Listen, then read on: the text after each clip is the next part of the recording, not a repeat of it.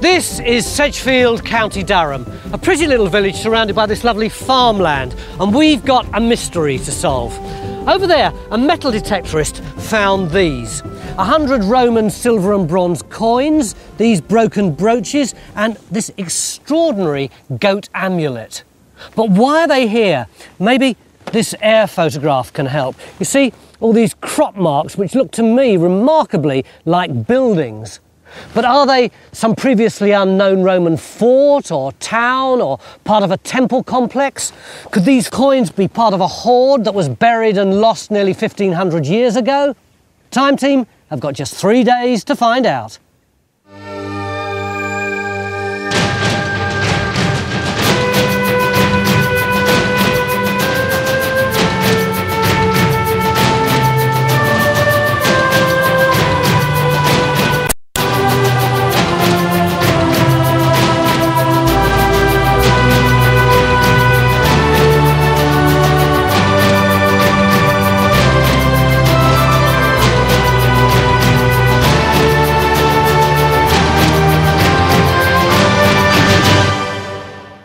This is pretty near Hadrian's Wall, isn't it? That's right. We're, we're in the military part of Roman Britain, northern Britain, but unfortunately, this is a complete blank on the map. So we've got a really exciting prospect here to put a new mark on that map and explain what was going on here in the Roman period.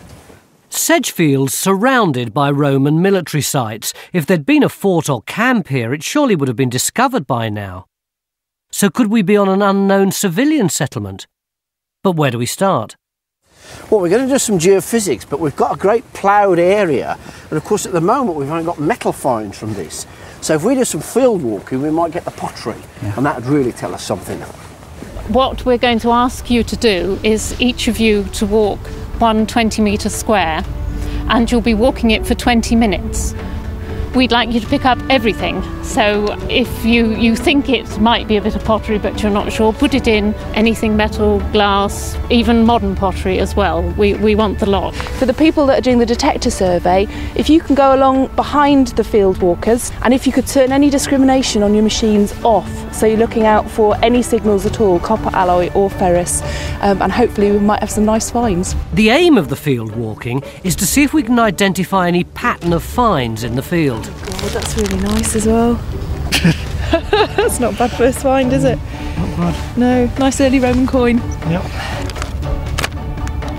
Where you find coins and metal, you should find loads of pottery. The field walkers and detectorists are working to a grid set up by a geophys who've already surveyed most of the ploughed field. This is a pretty big area, almost 20 acres, so with only finds and crop marks to go on, it's a bit like pin the tail on the archaeological donkey. But you've got some uh, results for us now. Which haven't he hasn't shown me yet. And there you are. oh, crikey. Wow, wow, that's brilliant. That is such a relief. I Look, have to tell you that behind the scenes he's been going, Oh, I don't think there's anything here, I don't know what we're going to do. So that is a great no relief to see all that there. That's brilliant. I mean, we're getting really good correlation with the aerial photographs. Yeah, These yeah. enclosures and ditches. I mean, that's the, the thing that I see when I look at these results. Yeah. I see ditches. Right. I, I don't see wall foundations. You don't and think buildings. any areas like this might be settlements? Well, there might be. I think it's all to do with settlement. Right. Yeah, well, and good. what sort But- of activity would these blobs Ah, indicate? well, those are intriguing. They, they really are. They're about four or five metres across. Because as we I have no, see we have no idea of date for No. this, have we at all? Really. So we need to find that out first of all. okay, so where do you think we should put the first trenches in? Well, if we went for the junction of that enclosure. Yeah, because it looks with if the that's butted up against that enclosure, doesn't it? But then one trench that goes across the enclosure and takes in one of the blobs. Yeah, You happier now? that's great. Yeah, yeah. I'm very relieved to see that. Uh, if you could leave the tape clean. okay, sorry about that. It's So- going back to me. Oh, this is a 15 lot- metres this one. I didn't realise it was going to be this long. Yeah. So, how big was the geophys that you did? We, we've actually done the whole field, 200 metres by 60 in that plot. that was so the whole field. Yeah. It's going to be a big trench, isn't it? Yeah, but will, we've got big machines.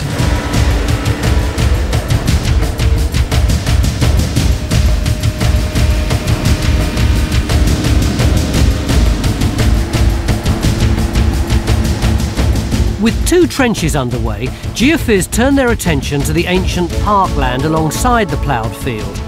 The park hasn't been farmed for centuries and could reveal completely undisturbed archaeology.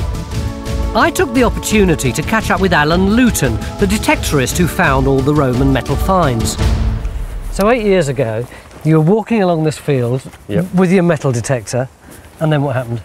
Well, I just suddenly started finding Roman coins. I mean, normally you may expect to find the odd Roman coin, like casual loss, because supposedly there's a, a Roman road going along the, bottom of the field, or Yeah. so they say. But I started to find the odd silver coin and then a couple of bronze coins, and then they started to form a pattern, a few brooches, and I, I just had the feeling that this had been some sort of a settlement site, maybe it's uh, a Roman camp or something like that, a marching camp. Had you ever found anything like this before? No, no, And have you ever found anything like this since? no, not at all. Alan's lent us all his finds for expert analysis. Well, we can see at a glance. I mean, we've got mainly Roman coins there and some Roman objects like that Roman brooch, but we've got some medieval objects here, like this lead pilgrim souvenir. What excites me at first glance is we've got lots of these large coins, which are fairly early Roman coins. Unfortunately, they're not in very good condition. There's a, quite a spread of dates there right from the outset. Well, that's what we really want to know is the spread of dates, not just sort of Roman and medieval, but also within the Roman period, because it's a long time, the Roman Yeah. period. You tend to dismissively think Romans, just Romans, but it's 350 years, and we really need to know hmm. when we've got the concentrations of finds. Yeah. Are they early Roman or 100 years after the Roman conquest or what? With the field walking complete, Kynwin makes an initial assessment of the finds. Piece of Samian, that's lovely. I mean, that's what we were hoping to find. We've got a nice rim piece there. Yeah. It's a lovely finish on it. That's survived so well. Have we got any different types of pottery coming from any of the squares? Classic, lovely. And we'd expect to find um, some greyware here. Have we got any finds that aren't pottery or coins? Yeah, Clive, it's beautiful. Yes. Oh wow, Lovely. that is absolutely lovely. It's either going to be jet or lignite. It's been pierced for suspension Yeah. as well. So we've got Pendant. part of a jet pendant, probably second century, maybe third. That's beautiful. Phil, is it looking like anything? It is actually, just as the geophysics said it would be. This is the, the, the, the point of reference, this enormous great big Yeah. blob. Now that Oh, this is this dark is area this we're in, is very, it? very dark area right where you where we are now. Yeah. Now you're inside it, Yeah. and the actual edge of it comes round here. Oh, So yes. I'm walking along the edge. These pebbles are the local sort of glacial gravels. Yeah. And that's veering on all the way round there. So this is huge, isn't It's a vast feature, enormous. But any finds from it at all? Nothing at the minute. I mean, all we've all we've taken literally is is the plough soil that's moved down the Yeah. slope and has, has given Yeah. us this big build up of soil. In Trench 2, Kerry and his team of diggers have uncovered an area of burning only half a metre down. Sprinkled across the surface are tiny fragments of melted bronze and lumps of slag containing copper and daub. Even Mick isn't allowed to walk on the delicate fine strewn surface, so Kerry learns to operate a camera. This is a bit of new technology you're going to impress me with, is It it? is. I'm going to show you what we found in here. Right, go on then. All this slag and that we've now found is confined to within the ditch. Right. So it's not a structure, it's been dumped in here. But surrounding it, we've got a large amount of pots. We've got this piece here, Oh, crikey, yeah. which we'll turn it over, is Oh, a very nice rim. Great big rim, yeah? Clay here. Yeah. So what, you're thinking of this as a kiln or a furnace or something? I think so, yes. The same as here, there's daub Oh, as well. crikey, yes, that's very burnt, isn't it? And there's a nice little pot base Oh, just here. more greyware. And as we get to the burning, you can see all the charcoal Yeah, and yeah. the daub in there. So we've got all the components of a furnace or a kiln, but it's dispersed. It's been dumped here, all spread here. So what are you thinking, that the kiln or the furnace isn't very far away from this dump? Could be, you could be right underneath where you're sat. Right. Over at the incident room, the slag sample's been x rayed to try and find out more about how it was formed. You, you look at this. So which way is the out point? See, at first we thought it might be a mold, you know? Yeah. Like this is like a, a copper object inside a mold, but it seems too amorphous and the clay isn't a nice surface anywhere, so we think now it's a crack in the furnace. Yeah. And also, you've got a large amount of slag that's attached to it. So it's Yeah, like, why yeah. would you have that? So it's a on process. mold? And it's really exciting because it means there was a obviously a furnace on the site. Well, yeah. All of these bits of bronze and burnt areas are a sure sign of industrial activity, but as yet no sign of habitation. And Phil's mysterious blob in Trench 1 is still causing Stewart a few headaches. Initially, we thought this was a pit, but actually, it turns out that it's a thick layer of burnt clay. This is this all this red mass down here. That's it. What do you think it is? At the moment, I've got no idea. The only finds we've got off of it are uh, some shards of Roman glass. Oh, let's look at that. Yeah. No pottery at all. Not well. We've got some Roman pottery from the layer above, but uh, nothing that would suggest, uh, you know, a kiln or uh, anything along those Right. lines at the moment.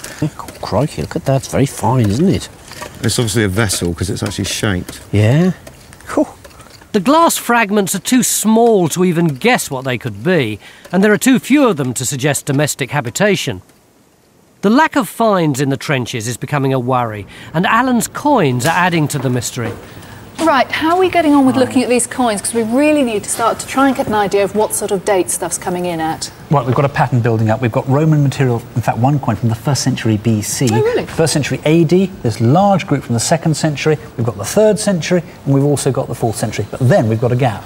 And then after the gap, we start getting coins again from uh, the 1200s. We've got coins throughout the Middle Ages, we've got Tudor coins, we've got Stuart coins, we've got coins from the 18th century, we've got coins from the present century. Guy, what do you think's going on in the Roman bit? What's distinctive about this? Is it the typical sort of collection you'd expect? It's exactly not a typical collection. what we've got here is quite a lot of silver coins. This is the equivalent of the £20 note. You don't go around chucking £20 notes away. What we've got very little of is the very small, low value coinage, which ought to dominate these third and fourth century I mean, that's groups. normally uh, your Roman site is riddled with these little late things that are half For pieces. You each can't be one of these, we ought to have a couple of hundred of these. And so there's a real mystery. So this looks like a neat pattern, but in fact, there's another story weaved into this. So, Alan, did you have any thoughts about what's going on in the Roman period in your site?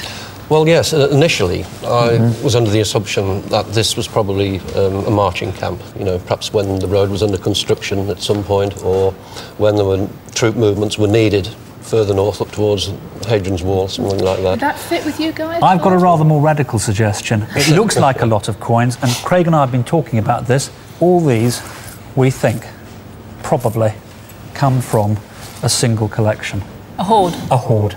It's a one site thing, and these may be the same. Alan, does that fit with how you found them? Were all these silver coins from sort of within six feet of each other? No, they weren't, no. They were scattered over an area about 80 metres, so quite a large area anyway, of the site. That's not necessarily incompatible with a hoard because if the cord pot that it would have been buried in was broken up through ploughing, you would expect them distributed over an area. But we shouldn't have this number of silver coins. If that was a hoard, would that then feel very much more typical? No, because even that is unusual. This lot might be a bronze hoard, and we've got some very late silver coins here. These are extremely rare, and these, I understand, Alan, were found very close to one another. Yes, they were, in another part of the, uh, the site. yeah. So, in other words, we're looking at three possible coin hoards on this site. So, we've really got two very different theories at the moment. Either it might have been a military marching camp and we might find some military stuff. On the other hand, it might be a site that people come back to at major intervals to bury hoards. So, we've got a real mystery going on here.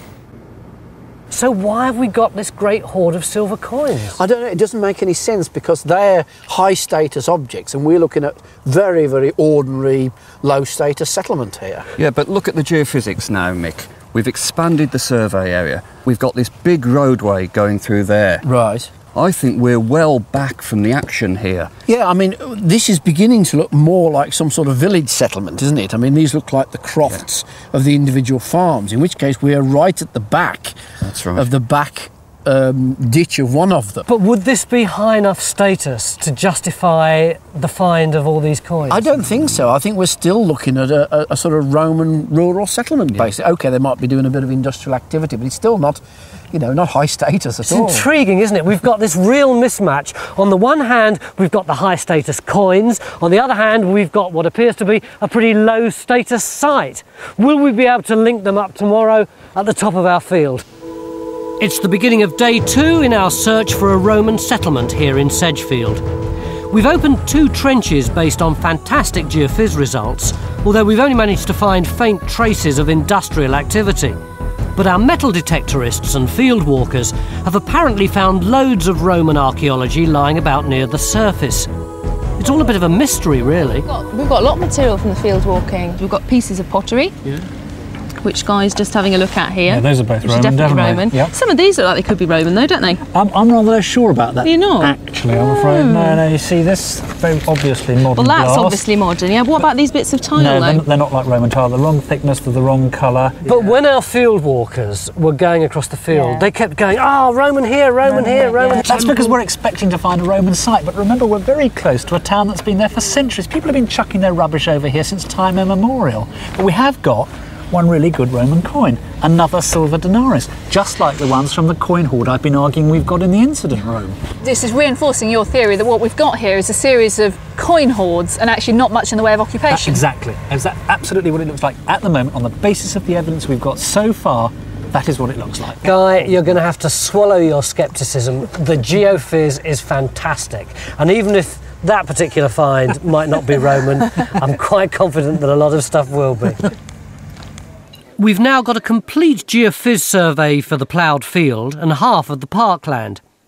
It seems to show a continuous set of archaeological features on both sides of the fence, and what looks like a Roman road connecting the two. It's quite a substantial roadway, I, I Yeah. think. I, I mean, that's 20 metres apart, those Yeah, ditches. Yeah. But Um, surely, surely the thing to do is to, to establish that we've actually got buildings and settlement alongside that trackway. Well, that, that's why we've homed in on this area here. Yeah. I mean, that might Ooh. just be something like an oven, corn drying kiln, Right. um, maybe a hearth. To open a new trench? Open a new trench that will take in your whatever it is, corn drying kiln Yeah. oven or whatever. And this area here is this bit blown up large, yeah? That's right. And where is it? We've marked it on the ground for you. this bit here. Well, this being time team, that means that we're going to have to move the fines table and the fines and this rather large tent. Anyone lend us a hand? Can we move the tent? So we want to go sort of over here somewhere. All right? Okay, off we go. We've got to move it, sorry. Just about, I don't know, 20 metres? What a team. Phil's moved over from Trench 1 in the field to take charge of the trench under the tent in the park. By his reckoning, the archaeology shouldn't be as deep here, as there's been no ploughing or other soil disturbance since medieval times. To find out whether we're on a major Roman road or just a simple trackway, Cat's opening up Trench 4.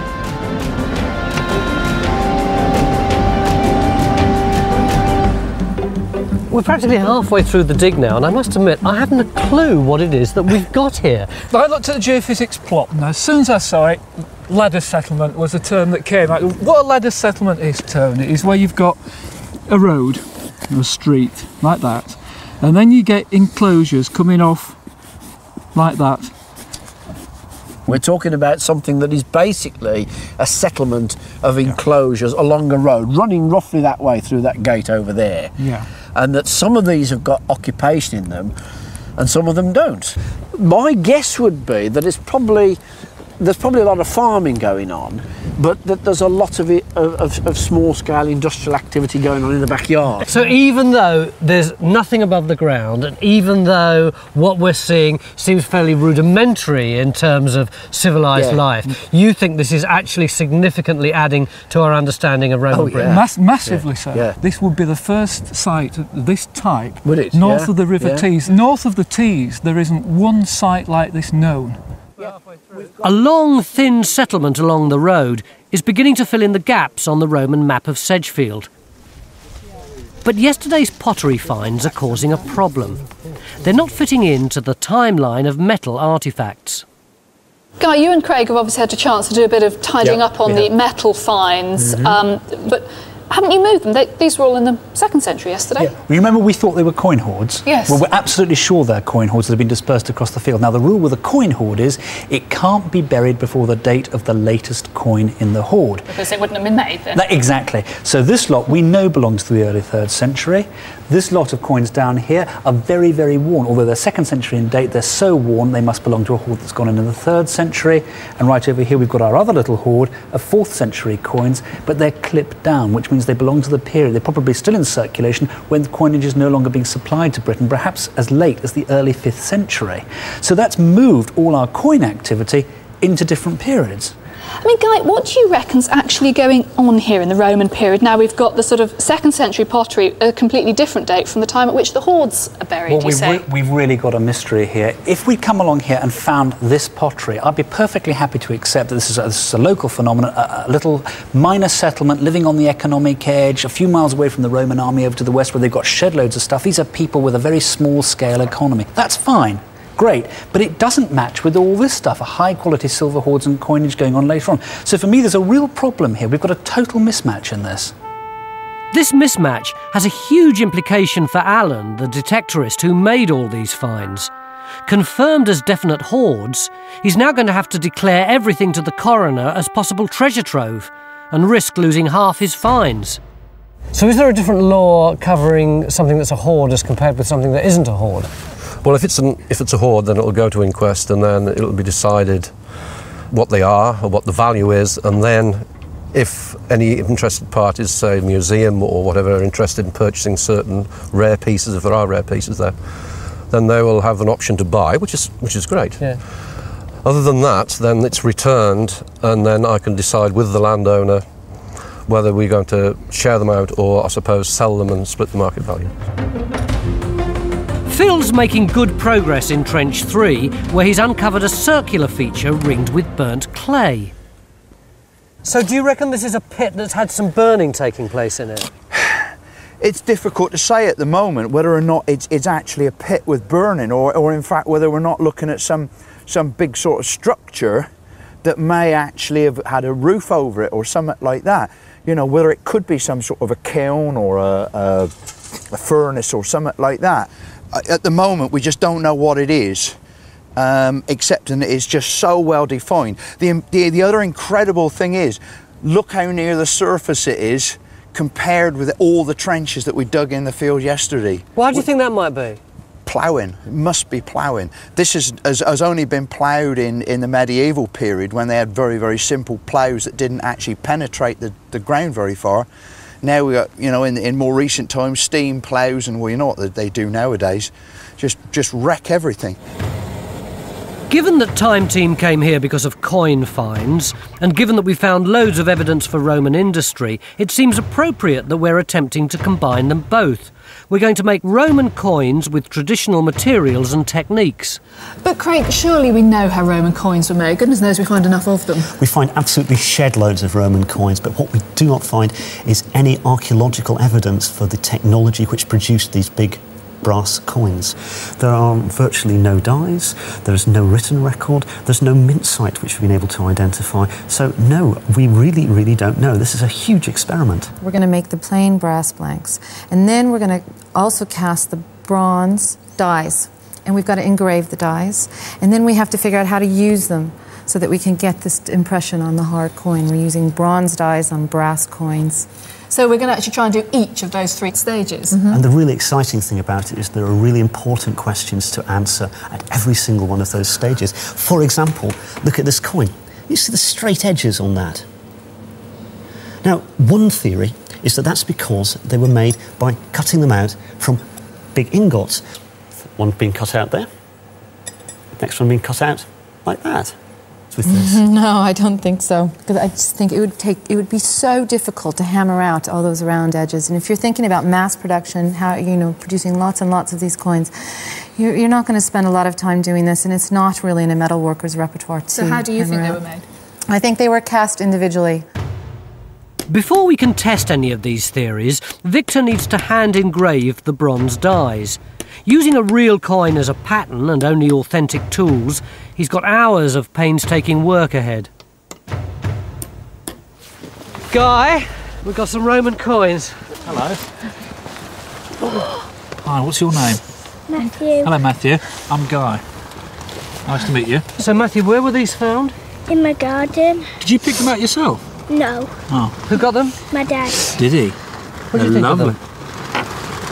Gosh, that's fantastic. In fact, that's almost better than some of the coins we found on our site. Do you know how old that one is? Um, No. It's 1,900 years old. This is from the middle of the 4th century, and this is an emperor called Magnentius. Which How is do you know that? It just looks like a great clod of iron. I can read the lettering on the side, Tony. You see. Also, it's the shape of the head, and he's got a bald head here, uh, which was a distinctive feature of that particular emperor on most of his coins.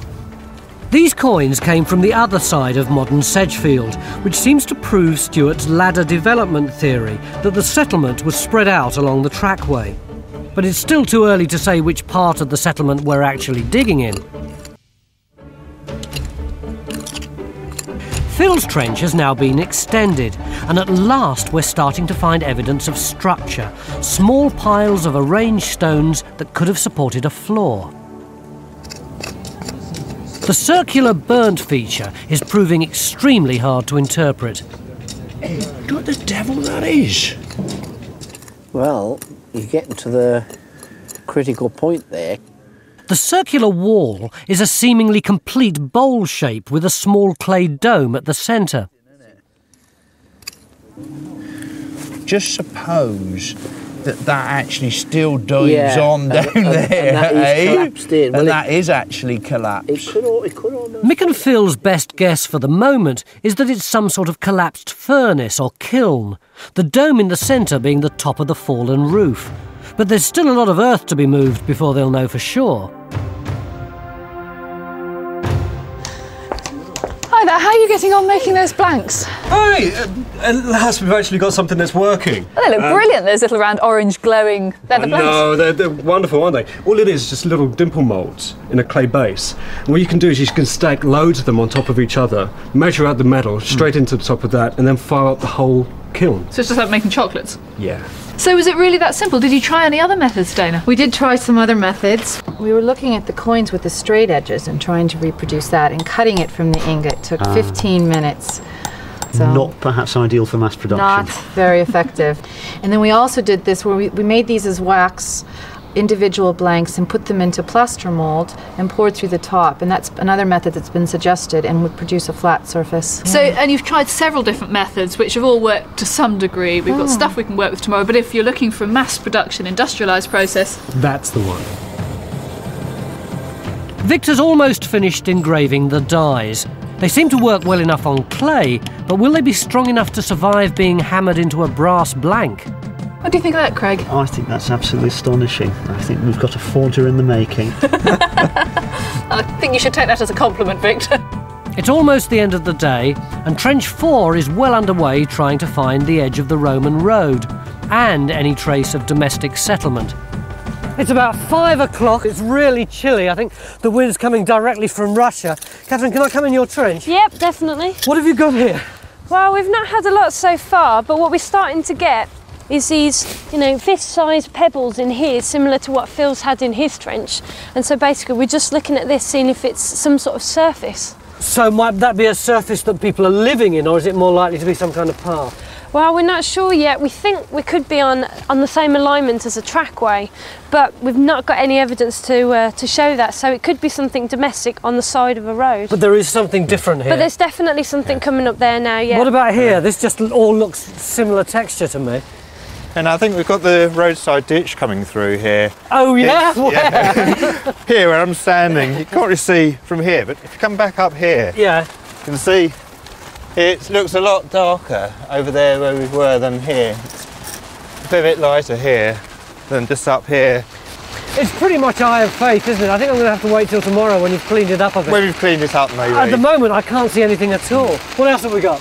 Well, what we've got is um, what showed up on the geophysical survey as that big circular blob. Is this here? Yep, we've got the edge coming through here with all this burnt stuff Oh, on the this is here, side. yeah, yeah, I can see that. All I can actually coming through that. here. so what we've done is we've taken it down and then we've we've dropped this huge sondage in here, which is about two meters deep from the side. So this is like a test pit, yeah? yeah, just like a test bit, and we managed to find this bits of uh, amphora at the bottom. Now, how do you know that's an amphora? Well, this bit here looks like it's part of the, the handle. Oh, right. Look, yeah. it's so chunky. Yeah. And the amphora ware is all you know, massively chunky. So we know that we're still. We know we're Roman Roman, and we've had a coin come out of the spoil, so that's been dated to AD 69. So we were definitely Roman, which is great. So what are we doing in this enormous trench next?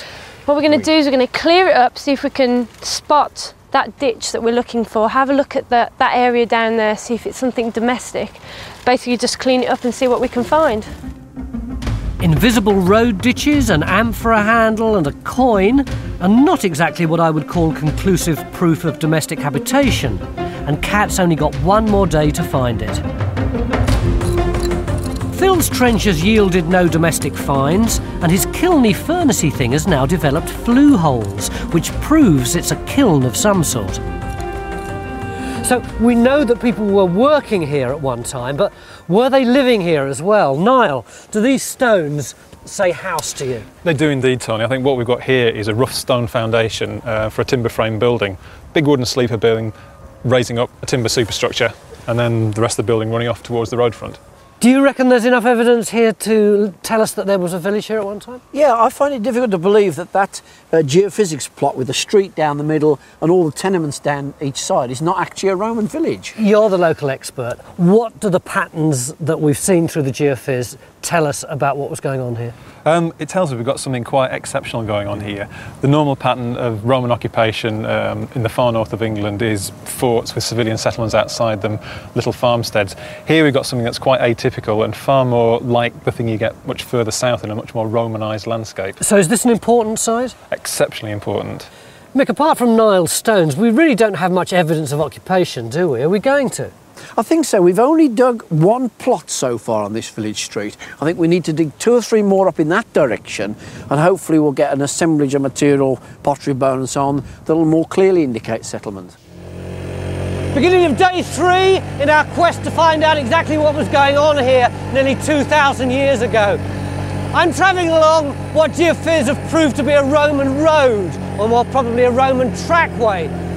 We've got lots of evidence of industry and agriculture here, but very few clues about where the early inhabitants of Sedgefield actually lived. There's been a lot of midnight oil burnt trying to work out what to do next, but I've got a feeling there's going to be quite a few trenches dug here today.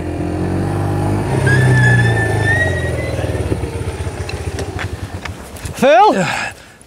That's a very stylish motor you got there, Tony. Pretty stylish little trench you've got here too. We have finally cracked it, we reckon. What is it? Look what happens when I pull out this bag.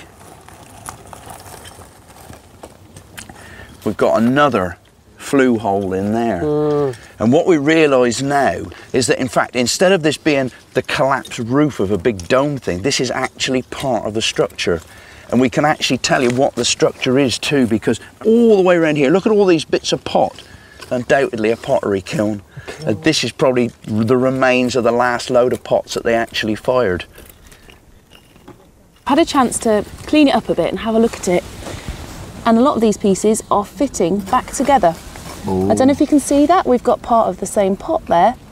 It looks very much like a lot of second century forms, but we haven't got examples like this from this area. And the, the pieces are so big and they're so fresh. They are. And this is the weird bit. If you turn it over on the bottom, can you see there? It's Was- not being used. No, just, to, just as they wired it off the wheel. Absolutely, yeah. It's still fresh. I thought that around here the Romans imported all their pottery. Well, that's what a lot of people think, but it's obviously not the case here. So this is actually quite an important find. It is, yeah. This is quite possibly the northernmost civilian pottery kiln ever discovered in England. Perhaps Sedgefield's potters sold their wares to the passing military on their way to Hadrian's Wall. I've spotted a new trench next to Phil's kiln. I think I'll go the long way round. Would have been shafted. I thought another trench would be going in pretty soon. Why here? Well, we're still looking along this street for evidence of, of, if you like, more obvious occupation. Yeah. And we've got a series of, of, of blobby pitty things, I think, aren't we? So we've gone in on those Yeah. three large pits to see if we can get any domestic refuse in effect. Kerry, what, what have you actually got there? We've got a capping for a pit here. There's another pit here and another one at the other end of the trench. So you've got all three? We've got all three. I don't understand what additional information you're getting from this that you haven't got elsewhere. It just seems to me that we're confirming the three bits of evidence that we've got elsewhere on Yeah, the but we're still looking for domestic refuge mm. in effect. People need to be convinced that this is a settlement by finding waste material, bones, and Yeah, I mean, I wasn't going to admit it last night, but it is odd that it doesn't have animal bones, you know, smashed up. Why is that odd? Well, because, you know, almost every site you look at has got people, you know, joints of meat and, and all the rest of it, and, and there's nothing. Very, very strange. So that might imply that it's not residential, whereas last night you were saying you thought that it probably I think it's a, a lot of a lot of vegetarian craftsmen. Over in Trench 4, Cat's making great progress excavating the roadside ditch. Just the sort of place your average Roman artisan might throw the remains of his dinner. Hello, Catherine. Hi. Has it been worth opening this enormous trench after all? Yeah, it's been very successful. Can I get down? Yeah, certainly. What have you got? Well, we've just starting to excavate this Yep. roadside ditch, and Mhm. we're just starting to get a lot of bone. Wow. Now that's something we've been really short of actual evidence for people living and eating here. That came out from there. Yeah, that came out all through this fill Mm. in here. Right, what else have we got out of the trench? Well, we've been excavating the um, big, massive quarry pit at the end of the trench. Great. Remember on the geophysical. Yep, yep, yep. And we've just started to get some uh, bone out of this, but interestingly, we've got it about three metres down. Good. And uh, these quernstones. Right, quernstones. Of course, if they're living here, they're going to need bread, and that would be for grinding the corn. But you know, I've got a real feeling that the quernstones are not necessarily going to be just for that. Um, some of these seem to have been used as the kick wheels on a potter's wheel. See, and we know the pottery made over there was wheel made. Yep. So this could be the thing that you're pushing around at the bottom to turn the pottery Oh, on. wow. So that's really interesting. Things are looking up. That's that's great. Excellent. A few bits of sheep bone out of a ditch in one trench is hardly conclusive proof of domestic habitation. So we've opened Trench 6 further along, but still fronting onto the Roman road, the most likely place that the Roman inhabitants of Sedgefield would live. Can you see there is some linear feature coming through here? It's got a really kind of silty matrix to the soil. Um, we've got bits of charcoal, and it just looks redeposited. It's like something's happened. Plus, we also have this something happening here. Can you see that? There's a, a The darker angle. soil in There's front of you. Darker soil just here. as opposed to the orangey to So the this side. orange gravel on the side, and then we've got this dark, kind of really sandy, silty stuff. So we going might at have right remnants of slots. the- maybe. I, think, I think you've got to give it a good clean. I think you're right. I think we do have to give it a good clean. There may be something here. Once again, almost invisible archaeology. In this case, subtle soil staining where the timbers forming the base of a wooden building may once have lain. Over at our Roman industrial site, we're just about ready to try and strike some Roman coins. Andrew, we're ready to do our first experimental striking now, aren't we? And we're going to do the least risky one first. That's right. Because I think we're all really worried that Victor's die is going to break. I'm really worried because I spent two days hard slog on that. Very hard work. Still, it's all yours. What we're going to go for is just heating up the blank, getting it to just under cherry red, right? Putting onto the die, and then instead of taking one almighty blow at it, just do a whole series of more gentler blows and try and tease it in there rather than forcing it in. Is there anything there? No. Because it really glanced aside. It has to be, yeah. Dana, do you still want to try a cold strike you were keen on? Well, I'm not as confident, but I would like to try it, yes. Wow, nothing. Nothing. No impression. Not a. Nothing. Okay.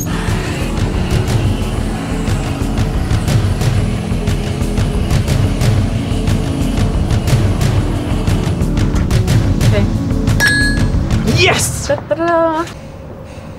Well, that's been a fantastic experiment, hasn't it? Because we've managed to mm. rule out the methods that don't work, and we now know that a hot strike with one big blow using a bronze die would have been able to strike huge numbers of coins without damaging the mould. Phil, I've been looking at maps and surveys and I found a few anecdotes which you might be interested in relevant to the kiln. Yeah. The whole foundation of this settlement was probably because of the quality of the clay here, a natural It, resource. it, it speaks marvels for the quality, yeah. There's a, a survey in 1380 by Bishop Hatfield which actually records kilns in Sedgefield. Yeah. And in 1673, the guy who actually owned this land left 25,000 bricks in his will. and in the 19th century, there were field names Tile Shed Plantation, Brick Kiln Plantation, just beyond the woods there. So that the tradition starts here in the Roman period and kilns and tile making and so on, carried right through to the present day. Just goes to show, I mean, when this old potter built this kiln here, little did they know the tradition that they would be setting up. Cool, Mick, this is some trench, isn't it? Yeah, we've just decided to extend it back into here as well. Why? Well, we think we might have a building, some sort of structure. I'm not sure if it actually is an entire building, I think probably more of a room. There is Um, no building there. Of course, there's a building. we thought Can we'd you have this see it? no, absolutely not. Show me. Okay, we've got it running down here. Yes. We're getting to a corner. I can see the You turn, see yeah. the, you see the return? It's coming all the way back here. We've got another return here. And then we're coming all the way back until we get to a T section. So you reckon you've got a rectangular building or possibly a rectangular room that's part of a larger building? It must be a room of, of a structure. And you do think it's a house? Because I've been saying I don't think there's any settlement here. I think this is industrial stuff out in the fields, but this would change that. It would definitely change that. This is your last chance, Mick, isn't it, to find any settlement It, out it- in this it site? is, it is, and you know the, the thing that's worrying here is we've had virtually no finds so We've far. had we? none out of this area whatsoever. Yeah. We've had finds within the trench and other features, but we haven't had actually anything in this. Yeah. So what are you going to do? We're going to have to cut some sections into it, see if we can get a profile, see if we Um, can find some finds. We have roughly two hours left. No problem, Tony. Easy peasy, we'll get it done. She may get it done, but will I be able to see it? At least Phil's kiln's easier to understand, but he's running out of time as well. He's being slowed down by even more flue holes, which require very careful excavation. Oh. We suspect that we're in the middle of a civilian industrial area that may have provided goods for the military heading north to Hadrian's Wall, but we've found no military artifacts to back oh, this up until now. My word, that's copper alloy, isn't it? It is, I think it looks like Is a that- bucket handle. It's definitely looking handle shaped, isn't it? Hmm. When it's cleaned up, the bucket handle looks too fragile and small to carry any real weight, but it's definitely a handle for something. So, what Roman object needed a small bronze carrying handle? Craig and Guy came up with the solution. Once used by a soldier to attach his helmet to his belt or shoulder strap, it obviously broke, and he must have come to a local metal worker for a replacement. We've almost run out of time, and our search for domestic habitation in Trench 6 is finally over. So, Bridget, did it turn into a house? In a word, no, I don't think it is. Oh, right. what do you think it is then? I think it's a single cell building. Right. No evidence of humans living in here. No, no hearth it. or oven or anything like that? Absolutely nothing, not even a piece of pot for it. Huh, so what's this for then? I think it might be for animals. I think Oh. they come in here, kept overnight. So it might be a, a pig pen or something like that. I think that's about it. I'll go and tell everybody you found a pig pen. Okay.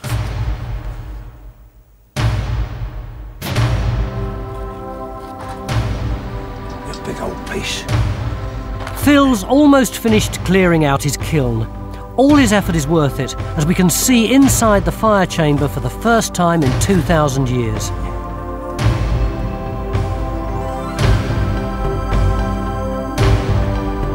Fed from a stoke hole at the side, this is where the wood or coal would have burned. Flames shooting up through the vent holes to fire the pots stacked around the bowl of the kiln. The heat would have been kept in by a thin clay domed roof, which the potter would smash after every firing to get his pots out.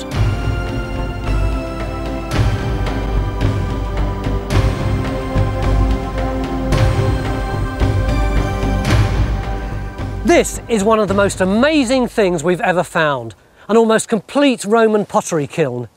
And once the pots had been fired, our Roman potter might have walked through his workshop, past his workbench stacked high with completed pots, opened his front door, and gone out into the main street. We've established that this was a major Roman trackway heading from the south off towards Hadrian's Wall. The chances are that this previously unknown Roman settlement could extend for miles along the trackway. We've discovered at least 20 different enclosures just in the field and park. This was obviously a thriving industrial area, making pottery and smelting bronze for the growing Roman market. It must have been a lucrative market too, because at least three people over a 300 year period were rich enough to bury their coins in the fields and lose them. I think we can safely say that Sedgefield may not have been a city of forums and amphitheatres, but it certainly deserves its place on the Roman map of Britain. After we'd all gone home, Phil had a surprise visit from the local MP, eager to see for himself his constituency's Roman heritage. How long have you been associated with this place? It's getting on for 20 years now. 20 years, you see. You just don't know what's under your Well, own you. it's certainly a revelation.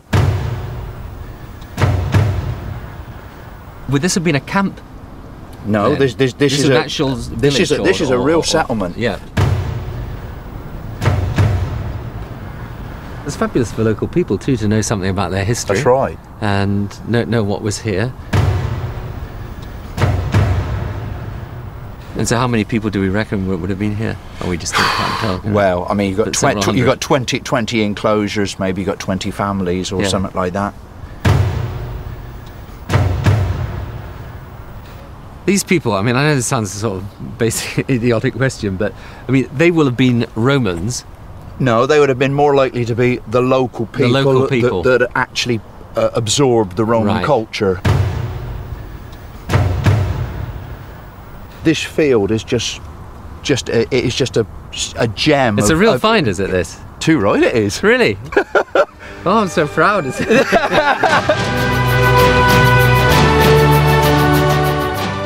Next on Discovery Channel, a look at the very public rivalry of celebrities. Today we'll find out the truth about the competition between Alain Prost and Ayrton Senna.